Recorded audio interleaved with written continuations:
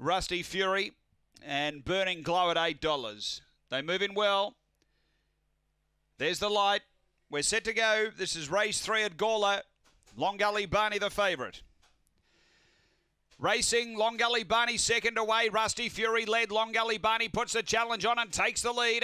Then came Gronk from Emily Circuit. Next, Blazing Bazza and Burning Glow. Down the back, Long Gully Barney. Away by four here, the favourite over Gronk. And then Blazing Bazza. Next is Burning Glow, but on the turn, Long Gully Barney doing it well. Uh, clear over Gronk, and it's three in a row for Barney. Long Gully Barney by five. Gronk runs second. Blazing Bazza third. Then Burning Glow from Rusty Fury and Emily Circuit. The time here is around 22 and 80.